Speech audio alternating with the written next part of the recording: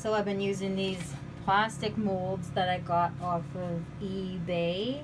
There's 12 of them and it was about $50. And I've been mixing them with Quikrete, which is sand and some kind of cement. Anyways, I'm gonna see now how they're turning out. I made them really watery this time on advice of a friend and I think that they're gonna turn out really well. Let's see if this one will, if it'll be okay or not. It's so exciting because I've been waiting like so many days to see.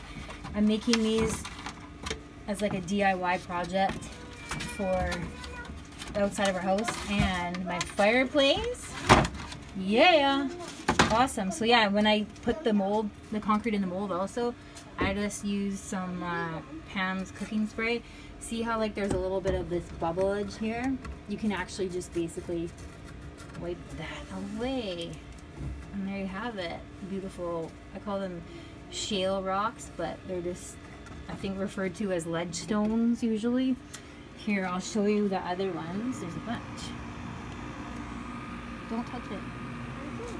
See, there's a whole bunch there.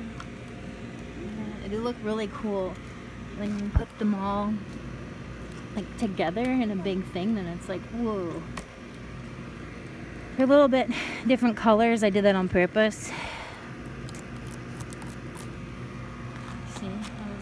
Out. Don't mind that part. This you won't be able to see that after. I'm I'm just gonna take like a brush and then just kind of uh, get rid of the bubbles with a brush. And get a whole bunch of those and then yeah it'll look really cool. And they're made you know pennies on the dollar. Cheap